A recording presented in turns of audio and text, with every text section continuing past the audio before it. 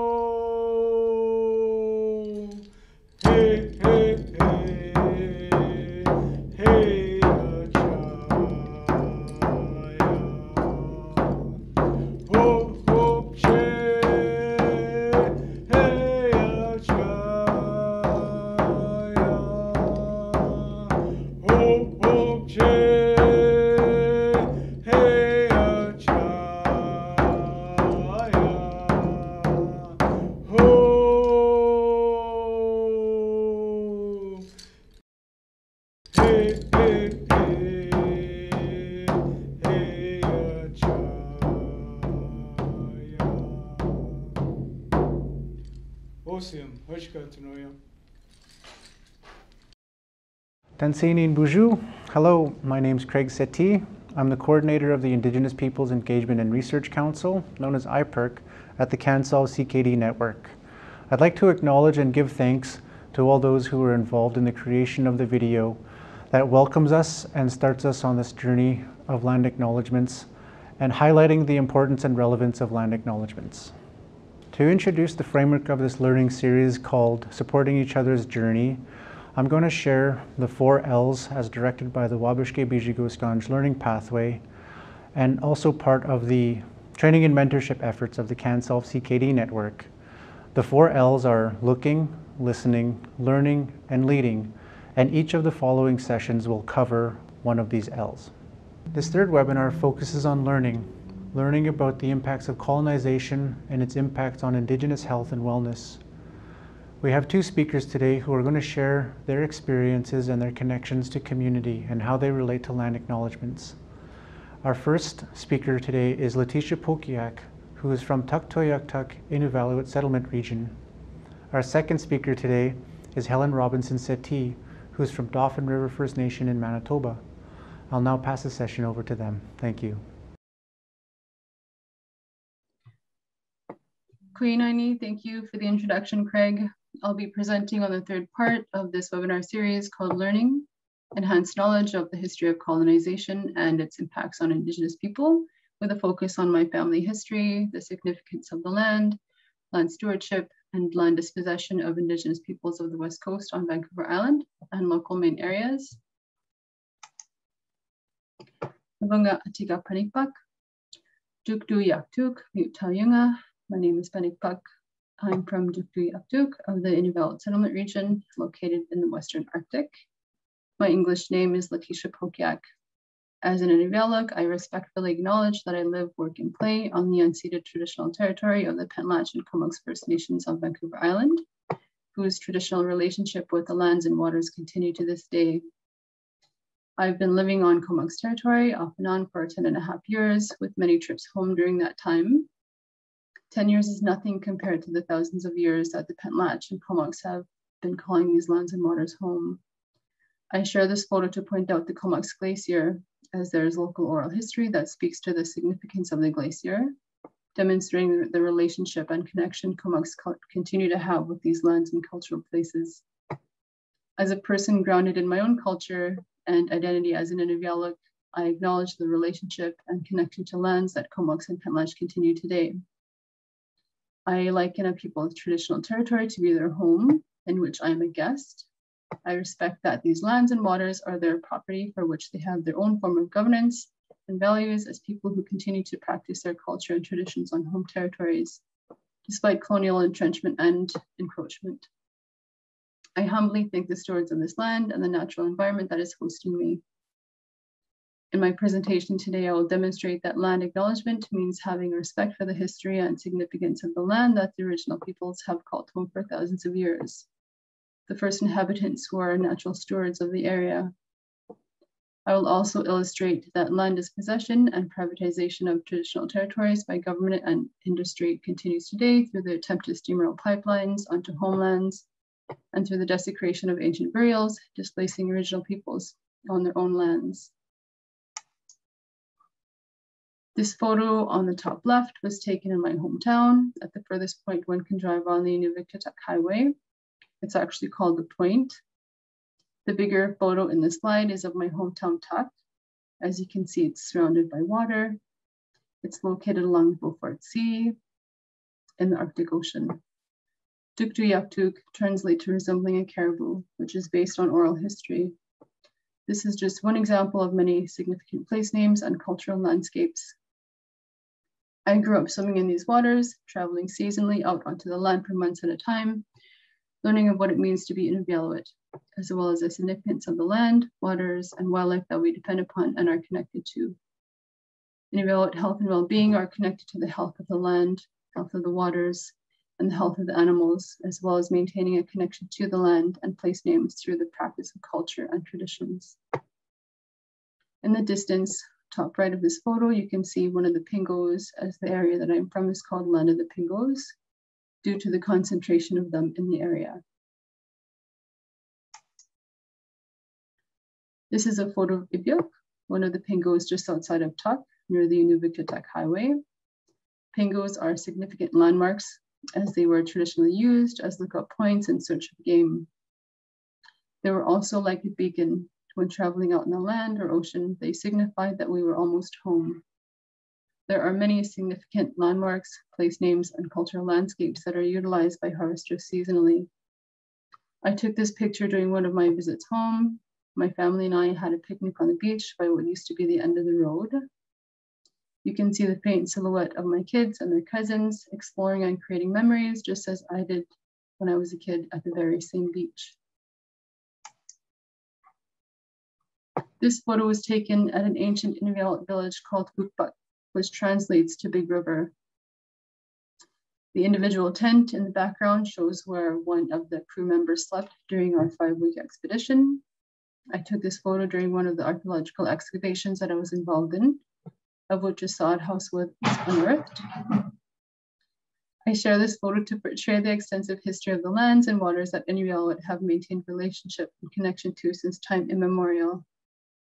The logs in the foreground are of a burial. You can see the sled runner towards the center of the photo. Our loved ones were buried with their belongings. This was how our loved ones were treated with respect, even in death. These artifacts, among many, were also unearthed, demonstrating the life that was lived 500 years before this village was no longer. Everything that the Inuvialuit needed was provided by the land the Inuvialuit settlement region is abundant with many resources, both renewable and non-renewable. I come from Inuvialuit and Inupiaq ancestors who survived and thrived off the land. These are a few of my ancestors, my maternal great-grandmother, Mamariak on the left, my maternal great-great-grandfather, Bukik on the right, and my maternal grandparents, Igalik and Angagak, are in the middle. Their English names were Lena and Bertram Pokiak. In my language, we say Nanak and Adatak for grandmother and grandfather, respectively.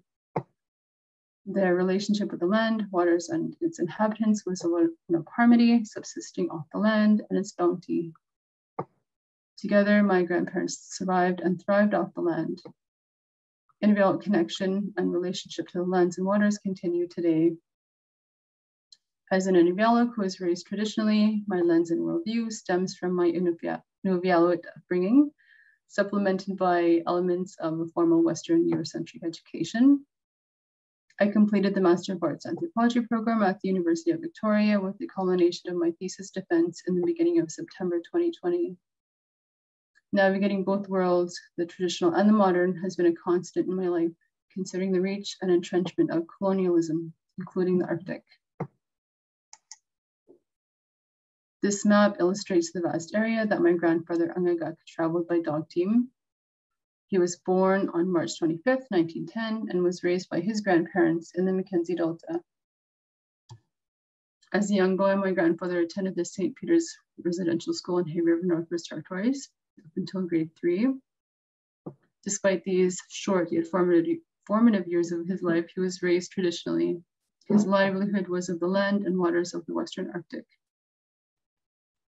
From 1930 to 1934, he was a special constable for the RCMP who had established themselves in the region.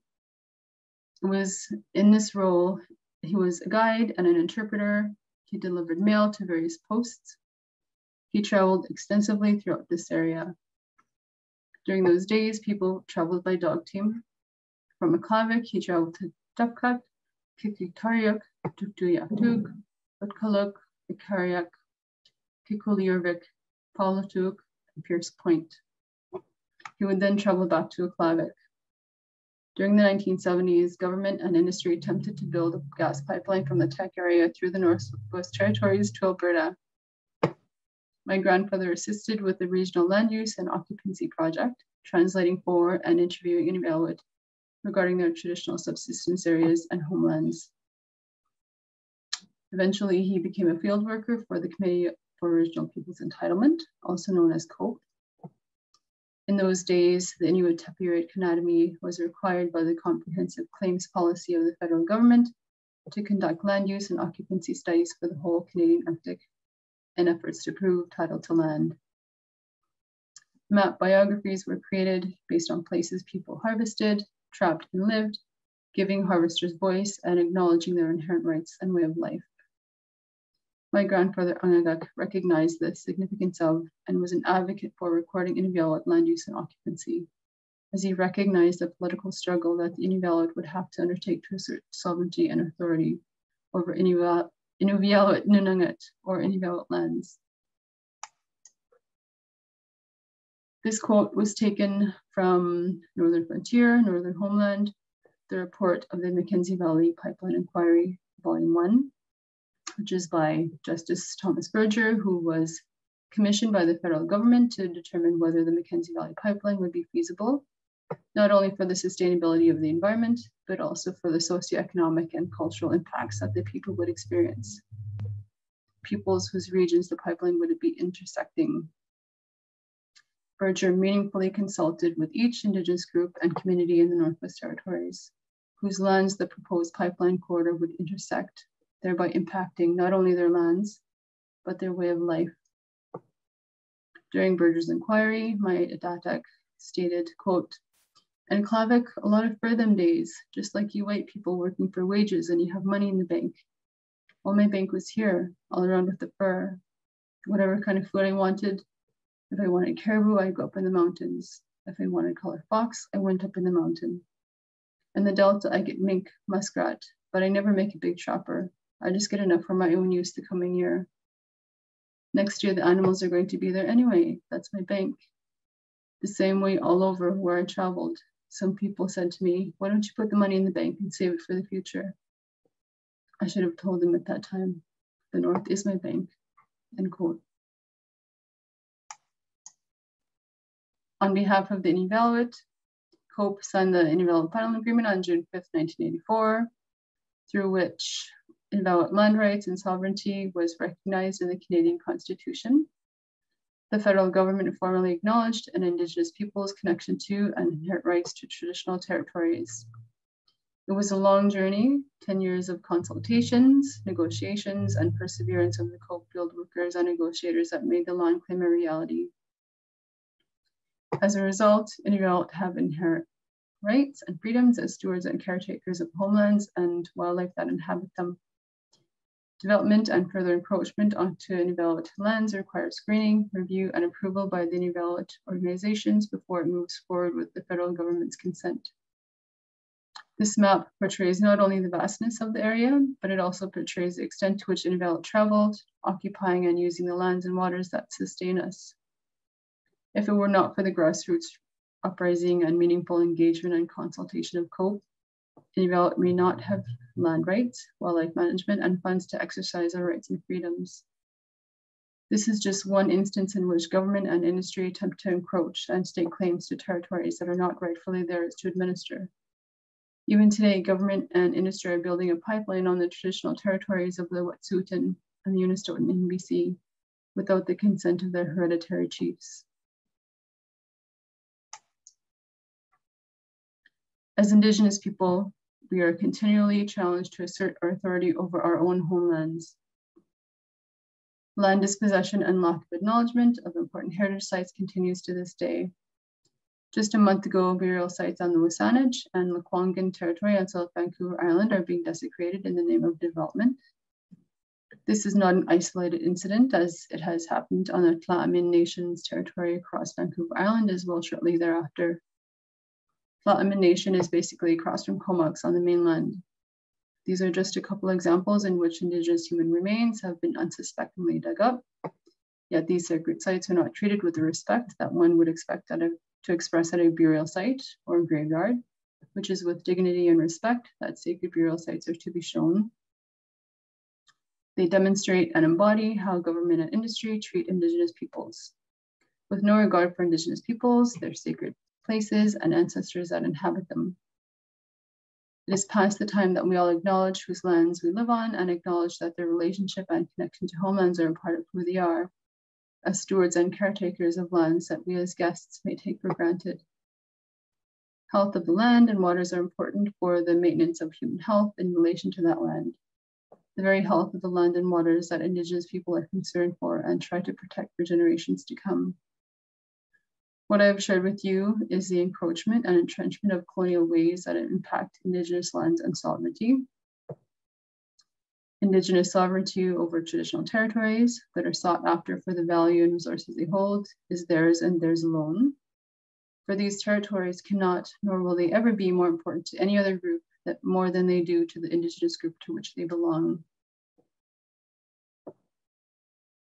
So the aim of my presentation was to demonstrate that land acknowledgement means having respect for the history and significance of the land that the original peoples have called home for thousands of years. Original peoples who were the first stewards of the area. I've also demonstrated that land dispossession and privatization of traditional territories by government and industry continues today through the attempt to steamroll pipelines onto traditional territories and through the desecration of ancient burials displacing original peoples on their own homelands. So I pose a few questions to you, the audience, who I hope has come to understand the importance of lands and waters that Indigenous peoples call home. What do the lands and waters mean to you? Do you know whose traditional territory you reside on? How can you move forward in a good way with good intentions, acknowledging the dark colonial history of Canada who continues to marginalize Indigenous peoples? Koinaini, thank you for taking the time to watch and listen to my presentation.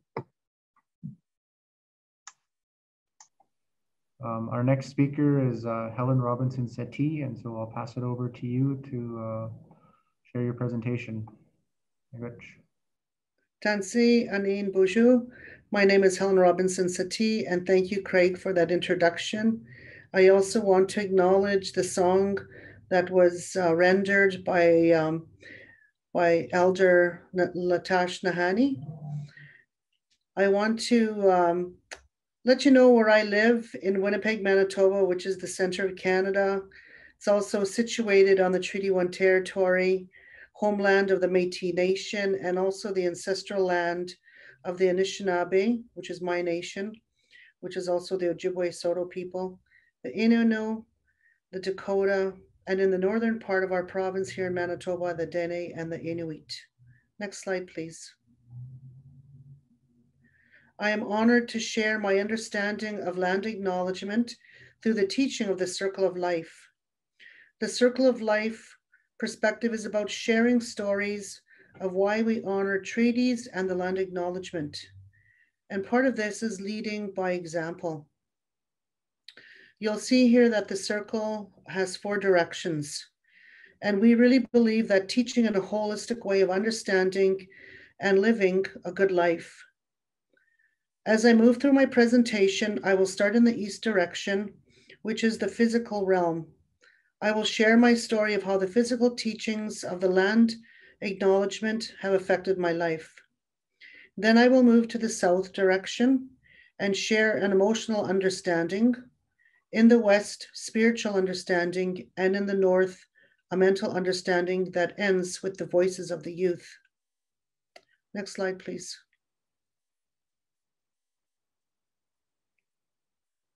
So here, the treaty, uh, treaty and land acknowledgement, we start in the east direction, which is the physical. This photo here is a picture of my home, Dauphin River. Both my parents were raised here in this community. Because my parents follow the natural ways of law, hunting, trapping, fishing, harvesting plants and berries, my grand my great grandparents remained in this community. So three generations of my of my family have lived in Dauphin River. This is also the homeland of the Anishinaabe and the Saulteaux people. There are only a few people still living in Dauphin River from my parents' generation. They were fluent in the Saulteaux language, also known as Ojibwe or Anishinaabe This is the language that was given to us uh, by the Creator as a gift. In this land uh, where my parents are from, there's also, we, we also acknowledge the water. And people live, uh, it's the people of the land where the river flows into the lake. And since this time, I just learned uh, just the other day that my home community um, they through the the, the Saulteaux uh, dialect, they have a it's a th dialect. So actually, they they switch they they have a different way of spelling the name there. So, but today, for the purpose of this presentation, I'm I'm going to continue just to use the spelling that's here in this presentation. There, um, so that's the traditional name of our territory of our our our community. And most of our communities in Manitoba do have uh, the traditional names. And usually that, that name is the description of a land of the land uh, where it's situated. So for my home community, it's where the river like drains or flows uh, into uh, the lake, into a larger body of water. So this is how sacred the land is to my people. Our communities are named to describe where it is located and how beautiful the land is. Treaty 2 territory. This is the traditional territory that my home community was signatory to this treaty also in 1871, which is the first treaty signed um, in Canada, which is Treaty 1 territory was also signed in 1871. So my parents, they grew up on this river and ever since we were young children, we were taught to respect and honor water. Next slide, please. I just wanted to honor uh, through this slide, this is a flag of my home community. And um, I wanted to, I wanted to um, show the slide to um, honor the residents, my, my family members who passed away from COVID-19 uh, this past year and uh, at the tail end of last year. So I, I wanted to dedicate this, this presentation to them. Next slide, please. When we talk about treaty and land acknowledgement in the south direction here, I'm going to talk a little bit about the emotional connection to treaty and land acknowledgement. So this first picture here shows uh, my home, Winnipeg, where I currently live on Treaty One territory. It's the homeland of the Métis Nation. It's the ancestral land of the Anishinaabe, the Innu, the Dakota, and in the northern part, we never want to forget our Dene and any and our Inuit. This picture really shows the beauty of the Red River, which flows through the city of Winnipeg. As a child, we lived a five minute walk um, from this river. When my parents moved uh, to Winnipeg in 1958 from Dauphin River, my mother was lonely for the river because the river was right there in front of them where they lived. And so she would take us kids for a walk, and we would sit and watch the river flow from, from the banks. And so as an adult now, and when I was asked to, to do this presentation, I remembered that emotional connection to the land that my mother had. And I, and I thought how lonely she must have been having to leave her community and, and, and move to this new part of the province and uh, I thank my mother for that for that memory and for um, taking us and teaching me how to uh, respect the water. This second picture here is also, um, and this is where my mother used to bring us when we were children. Uh, this uh, this view here, this is called the Alexander Dock, and um, this picture is sad. It's it's sad in one way and uh, the people in this in this photograph here are um, attending a vigil, and it's a, and a ceremony for a young girl, the late Tina Fontaine, whose body was found in this river. Her body was found wrapped in a blanket and plastic, or as many people say, even a garbage bag. And her body was found on August the 17th of 2014, and she was missing. She was a, she was a child in care. And so her death, her death uh, caused and prompted a national inquiry. And that inquiry also produced a report about missing young girls and ones who are in the child welfare system. And you can find out more information about, um, about this. There's lots of articles and the report is also available online. But the purpose for me sharing this story is the injustices towards Indigenous people. And through acknowledging the land and the water, you also acknowledge the harms and these harms to Indigenous people, in this case here to this young, this young, beautiful spirit who went uh, way too soon. And so we see here people celebrating this beautiful life, even though it was a sad one. And um, so I wanted to share that story, um, not to make people sad or upset, but the importance of, of acknowledging, um, you know, the water and the harms that are done to our people. Next slide, please. This uh, slide talks about the spiritual aspect of treaty and land acknowledgement. And this picture here is of my son, uh, my grandson, um, Ogima Benes. And um, it was taken last uh, August of 2020. Uh, and we were harvesting sage, um, carrying, uh, you can see me carrying a bundle there, and you can also see it in the photograph there, that lightish green um, plant medicine that's that's growing. And uh, so we went and harvest the sage at one of our, our Sundance sites and it's, it grows in abundance there. So when we talk about treaty and land acknowledgement from a spiritual perspective, we talk about it that this land is our home. As Indigenous people, we have nowhere else to go. This is this is where we live. This is where we we die. We don't go. We don't have anywhere else to go. This is this is our our traditional and ancestral territories. And so we're also taught on this land to be caretakers of the land. And because of us being caretakers of the land, we also have a spiritual connection to this land. And so in this picture here, you'll see you'll you'll see me. Um, I'm I'm there wearing my skirt, and and there's a lot of teachings about the skirt. But in this picture, I'm wearing a skirt because when I wear that skirt, it announces to to Nemama Aki, Mother Earth, my earth, the earth, my mother, that I'm here. So it announces that. And so the land is our mother. And we're also taught that our mother also has those lifeblood flowing through. And so water is also life.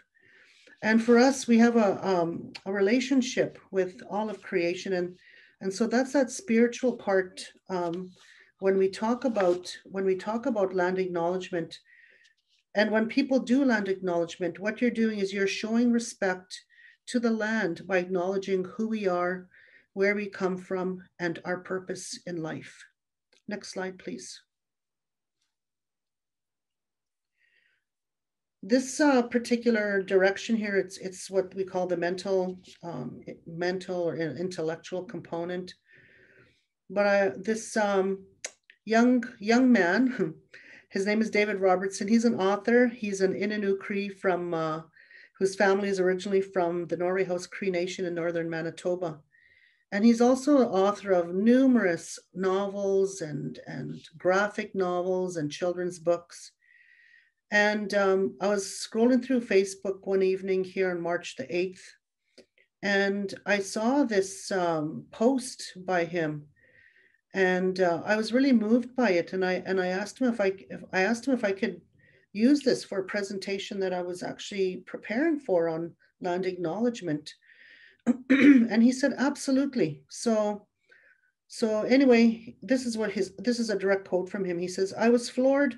When the kids at Lillienberg Elementary School read this land acknowledgement before my event with them, and of course the event was a virtual event, they wrote it all themselves and did it directly from the heart. This is how you do a meaningful land acknowledgement. If you're a teacher, have your kids work on something like this. It means a lot. End of quote, David Robertson. Next slide, please.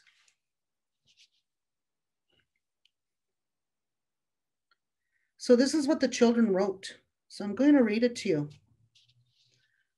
In the spirit of truth and reconciliation and as treaty people, we would like to acknowledge and recognize that our meeting today takes place on the traditional lands of the Treaty 3 Anishinaabe people. We also recognize that the students and families we learn and work at our school and also extend to the lands beyond Treaty 3 into Treaty 5 and the Treaty 9 territories. And so we honor those lands and relationships with Anishinaabe peoples as well. As it states in the Barren Grounds, and the Barren Grounds is actually one of the books that David Robertson wrote, quote, the land provides everything that anybody would need. If you take only what you need, the land will renew itself so that it can provide more medicines, water, plants, and meat. In exchange, because we don't really have anything the land wants, we honor it for what it gives us, end quote.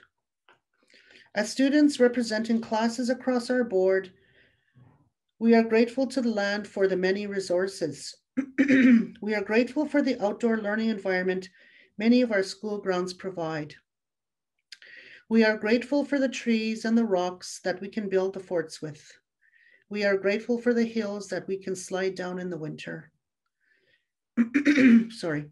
We are grateful for the fields we have to play soccer, baseball, and tag on. We understand that this land gives us all, and it is our responsibility to take care of this land. Please take a moment now to acknowledge what this land gives to you and how you honor it. Thank you. So, isn't that a beautiful land acknowledgement by students? And um, so, you know, a lot of times students teach us many things. I, I recently worked with a group of students and I was so impressed, you know, that before their presentation, they also wrote their own personal land acknowledgement. You know, so here, if children and young people can do it, you know, we as adults working in our various groups and organizations, you know, collectively we can also draft our own treaty and land acknowledgements. And for those people that are in treaty territories, not everybody's in treaty territory. A lot of people still leave, live in unceded territories. Next slide, please. So this last slide here, I'm talking about uh, still in the north direction.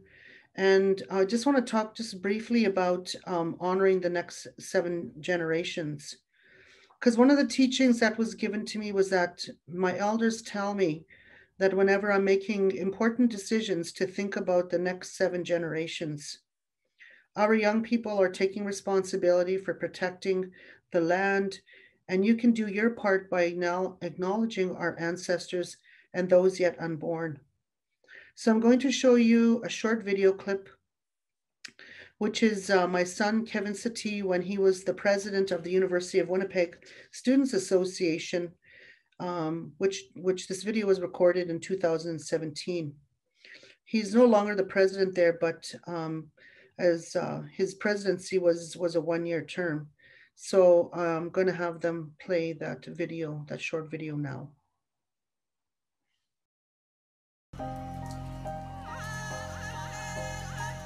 Kansini Buju, Olima Megisi, Indigenous Kayas Makondudem. Um, my English name is Kevin Settee and I'm from Winnipeg, Manitoba. I don't have the connection to the land that I would like to have, um, but there are a lot of people that do have that connection to the land and to the animals and to the water. And I think it's important that, you know, everybody listens to them, you know, to listen to the trappers, to the hunters, to the people that are living on the land, because they're the ones that are seeing the changes. And uh, they see the changes in the animal and all the cycles. And, you know, we know that the animals are going to suffer. And if the animals suffer and the land suffers, we're going to suffer. I think what it comes down to is like what a lot, even what we learned from Standing Rock, you know, is that water is life. And we can't survive if we don't have clean drinking water. And we can't survive if, you know, we have our temperatures that are going up. And, you know, we're having droughts in the prairies. You know, where are we going to get our food from? And, uh, you know, those are the big things that people need to be thinking about. Um, and with the pipelines being built, um, it just goes to show that the process of colonization has never stopped and you know will most likely not stop under a Canadian government, under the Canadian state. And uh, it'll be very, it's going to be very difficult to, to make those changes um, and to stop you know, those pipelines. But um, if we look at Standing Rock, if we look at Oka, if we look at um, what's what's brewing right now on the west coast with Kinder Morgan. You know, I think that's what it's going to come down to.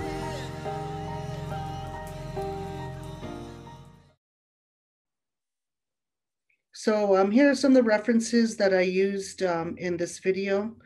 I want to say miigwech uh, for listening, and I encourage you to draft your own land acknowledgement to show respect and honoring the First Nations, um, the First Peoples of this land, and if your organization al already has a treaty uh, or land acknowledgement, you know, use it, you know, use it when you can, you know, to honor um, our loved ones um, who have gone on, those that are here and those that are yet to be unborn.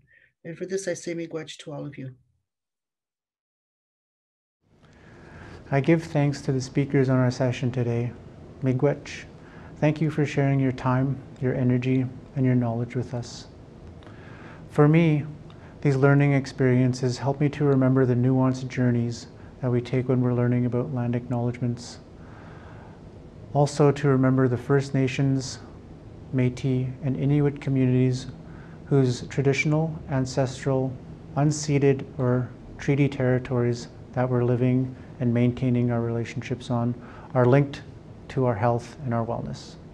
We look forward to sharing more of the learning series with you Please join our next session, Webinar 4, Leading, where I will summarize some key points from the previous three webinars, and I'll also share about land acknowledgements as a first step in building better cultural humility and cultural competency.